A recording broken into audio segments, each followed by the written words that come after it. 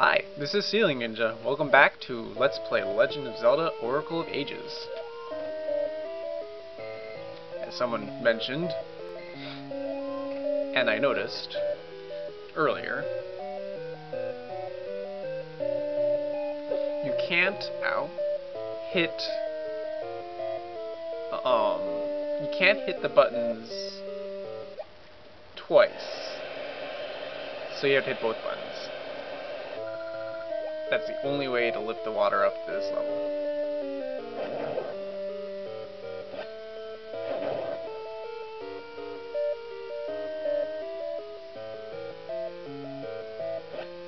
Which pretty much solves all my problems I'm having.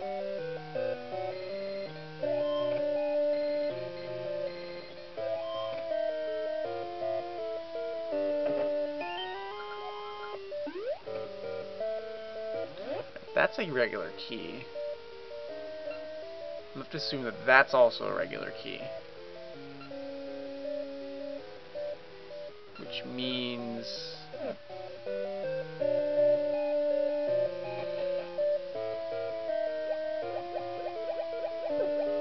Oh.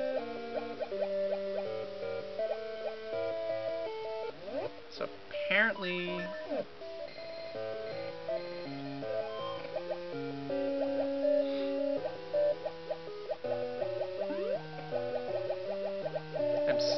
under certain restrictions.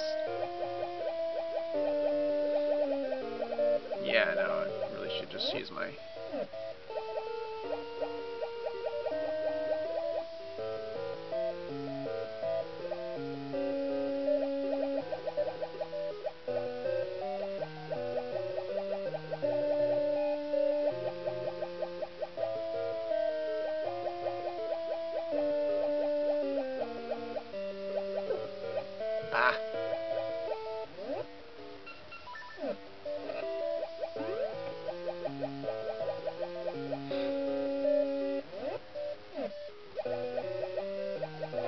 probably an easier way to this room, but I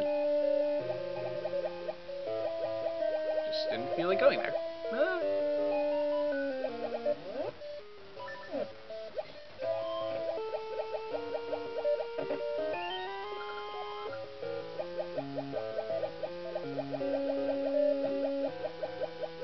I was right. Alright. Let's see now. Back to that top room.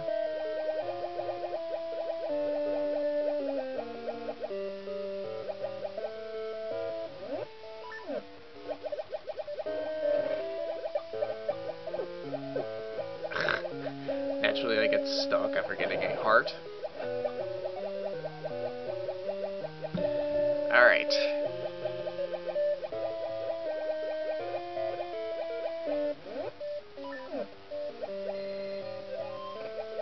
Back up to the top floor.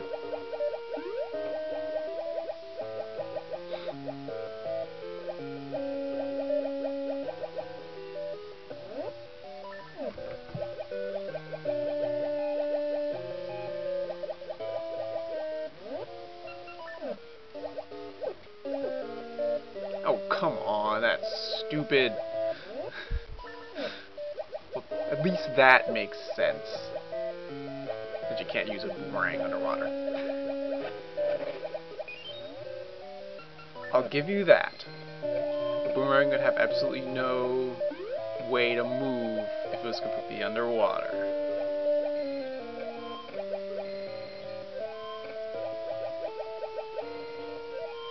But still, a magical staff that creates a magical block would have absolutely no reason for not working underwater.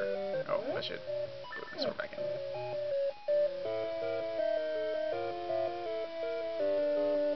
Anyway, I'm almost to the key.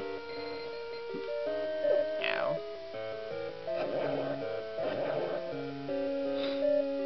I believe this is the boss key that I'm going to get.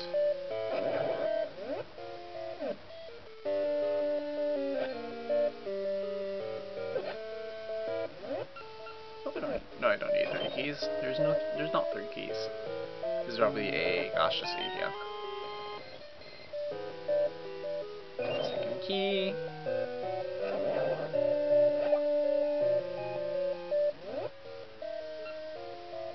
What?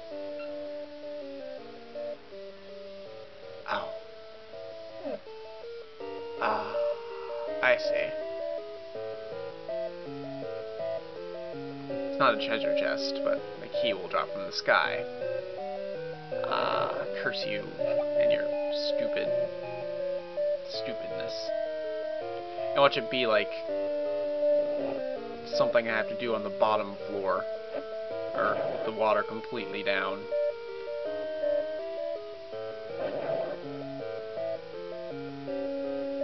Just just saying. That's what's gonna be.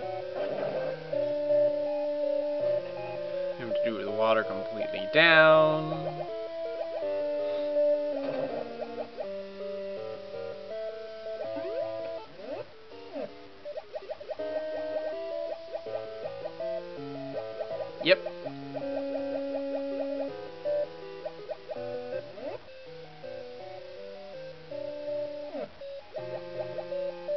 To get into that room?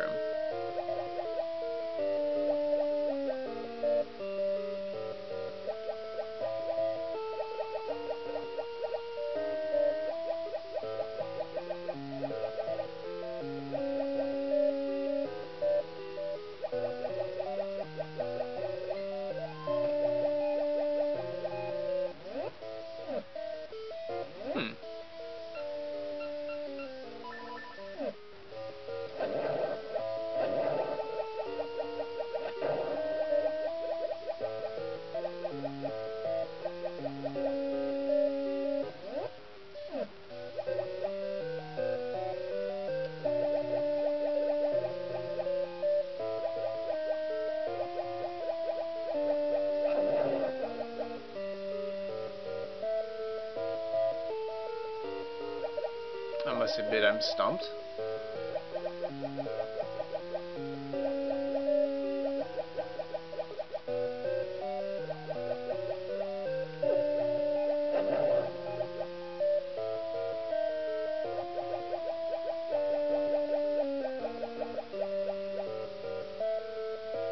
Hmm. Guess we'll figure this one out tomorrow. See you there. See you then. Have a good day.